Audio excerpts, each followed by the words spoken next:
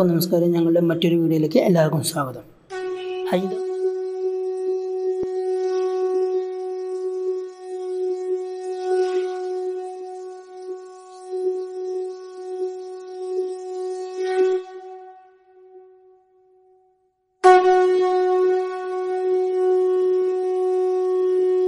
ഹൈന്ദവ ഐതിഹ്യപ്രകാരം മഹാവിഷ്ണുവിന്റെ ദശ അവതാരങ്ങളിൽ നാലാമത്തെ അവതാരമാണ് നരസിംഹം. മഹാവിഷ്ണു കൃതയുഗത്തിൽ നാല് അവതാരങ്ങൾ എടുത്തു. അതിൽ അവസാനത്തെ അവതാരമാണ് നരസിംഹം. ഭയം ശത്രുദോഷം രോഗപീഠ ദാരിദ്ര്യം എന്നിവയിൽ നിന്ന് മുക്തിക്കായി നരസിംഹമൂർത്തിയെ ഹൈന്ദവർ ആരാധിക്കാറുണ്ട്. പ്രഹ്ലാദനെ രക്ഷിക്കുവാനും ഹിരണ്യകശുവിനെ നിഗ്രഹിക്കുവാനുമായിട്ടാണ് മഹാവിഷ്ണു നരസിംഹാധാരം എടുത്ത് എടുത്തു എന്ന് ഭാഗവതത്തിൽ പറയുന്നത് സഹോദരനായ ഹിരണ്യാക്ഷന്റെ വധത്തെ തുടർന്ന് ഹിരണ്യകശിപ്പു വളരെയധികം കോപാകുലനായി ബ്രഹ്മാവിനെ തപസ് ചെയ്ത് ഈ വരങ്ങൾ നേടിയെടുത്തു. രാത്രിയോ പകലോ ആകരുത്. വീടിനകത്തോ പുറത്തോ ആകരുത്. ആകാശത്തോ ഭൂമിയിലോ വെച്ചാകരുത്. ആയുധങ്ങൾ കൊണ്ടോ വെറും കൈകൾ കൊണ്ടോ ആകരുത്. അന്തകൻ ദേവനോ മനുഷ്യനോ പക്ഷിമൃഗാദികളോ ആകരുത്. വരബലത്തിൽ അഹങ്കാരിയായ ഹിരണ്യകശിപ്പു രാജ് ജനദ്രോഹിയായി മാറി. സഹോദരനെ പോലെ തന്നെ അയാളും ദേവലോകം ആക്രമിച്ചു കീഴടക്കി. ദേവന്മാരെ സ്ഥാനഭ്രഷ്ടരാക്കി. ദുഃഖിതനായ ദേവന്മാർ മഹാവിഷ്ണുവിനെ ശരണം പ്രാപിച്ചു. താൻ ഉടനെ തന്നെ പ്രശ്നത്തിന് പരിഹാരം നടത്തിക്കൊള്ളാമെന്ന് ഭഗവാൻ അവർക്ക് വാക്കുകൊടുത്തു ഇതിനിടയിൽ ഹിരണ്യകശിപ്പുവിന്റെ ഭാര്യയായ കയാതു ഗർഭിണിയായി. സുന്ദരിയായ കയാതുവിനെ കണ്ടു മയങ്ങിയ ദേവേന്ദ്രൻ അവളെ ബന്ദിയാക്കി ഹിരണ്യകശിപ്പുവിനോട് പക വീട്ടാൻ ശ്രമിച്ചുവെങ്കിലും നാരദ മഹർഷിയുടെ ആവശ്യപ്രകാരം അവളെ വിട്ടയച്ചു. തുടർന്ന് കയാതുവിനെ തന്റെ ആശ്രമത്തിലേക്ക് കൂട്ടിക്കൊണ്ടുപോയ മഹർഷി അതായത് നാരദ മഹർഷി അവൾക്ക് വിഷ്ണു കഥകൾ ധാരാളം പറഞ്ഞു കൊടുത്തു. ആശ്രമത്തിൽ വെച്ച് തന്നെ കയാതു പ്ര പ്രഹ്ലാദന് ജന്മം നൽകി.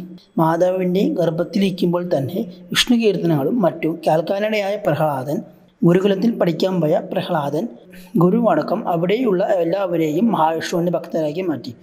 ഇതിനിടയിൽ ഹിരണകശിപു തന്റെ രാജ്യത്ത് വിഷ്ണു പൂജ നിരോധിച്ചു. ആരും വിഷ്ണുവിനെ പൂജിക്കരുതെന്നും തന്നെ മാത്രമേ പൂജിക്കുവാൻ പാടൂ എന്നും അയാൾ ആജ്ഞാപിച്ചു. നിയമം ലംഘിച്ച നിരവധി പേർ വധശിക്ഷയ്ക്കും വിധേയരായി. ഗുരുകുല വിദ്യാഭ്യാസം കഴിഞ്ഞ് തിരിച്ചെത്തിയ തന്റെ പുത്രൻ തന്റെ ശത്രുവിനെ ഭജിക്കുന്നത് കൊണ്ട് ഹിരണകശിപ്പും മകനെ വധിക്കുവാൻ പല രീതികളും ശ്രമിച്ചു.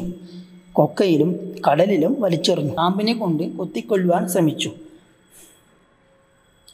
എന്നാൽ പ്രഹ്ലാദൻ രക്ഷപ്പെട്ടു പോകും പോകുന്നു. ഇത് ഹിരണ്യകശിപ്പുവിനെ പൂർവാധികം കോപിഷ്ടനാക്കി അയാൾ തന്റെ സഹോദരിയായ ഹോളികയെ അതിനായി വിളിച്ചു കൊണ്ടുവന്നു ശരീരം ഒരിക്കലും അഗ്നി ദഹിച്ചു പോകില്ല എന്ന വരം ഹോളികയ്ക്ക് ബ്രഹ്മാവിൽ നിന്ന് കരസ്ഥമാക്കിയിരുന്നു.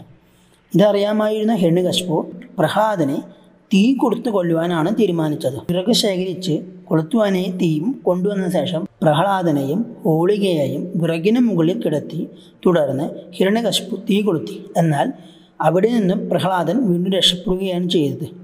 ഹോളികയുടെ വരം നിഷ് നിഷ്ഫലമാവുകയും അവൾ തീയിൽ വെന്തുമരിക്കുകയും ചെയ്തു.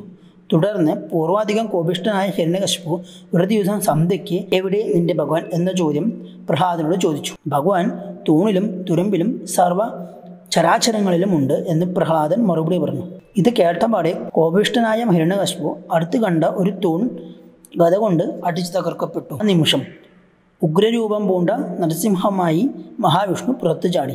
വരത്തിൽ പറഞ്ഞതുപോലെ പകലും രാത്രിയുമല്ല. സന്ധ്യ സമയത്തായിരുന്നു നരസിംഹാവതാരം.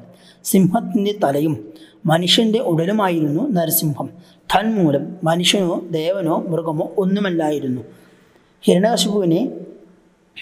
ഹിരണ്യകശിപുവിനെ എടുത്തുകൊണ്ടുപോയി ഭഗവാൻ അയാളെ തന്റെ മടിയിൽ കിടത്തി കയ്യിലെ നഖങ്ങൾ ഉപയോഗിച്ച് മാറി പിളർത്തി കൊന്നു. കൊട്ടാരത്തിന്റെ ഉമ്രപ്പടിയിൽ വെച്ചാണ് ഇത് സംഭവിച്ചത്. അങ്ങനെ വരത്തിന്റെ മറ്റു നിബന്ധനകളെല്ലാം പാലിക്കപ്പെട്ടു. ഹിരണകശുപനെ വധിച്ചിട്ടും കോപമടങ്ങാതെ നിന്ന ഭഗവാൻ ഭഗവാനെ പ്രഹ്ലാദൻ സ്തുതിഗീതങ്ങൾ കേട്ട് ശാന്തസ്വരൂപനാക്കി. ശാന്തസ്വരൂപനായി. അവനെ അനുഗ്രഹിച്ച ശേഷം അദ്ദേഹം അവിടെ നിന്നും അപ്രത്യക്ഷനായി. ഇതാണ് നരസിംഹാവതാരം. ഇത്രയും പറഞ്ഞുകൊണ്ട് ഞാൻ ഈ വീഡിയോ അവസാനിപ്പിക്കുന്നു. നന്ദി നമസ്കാരം.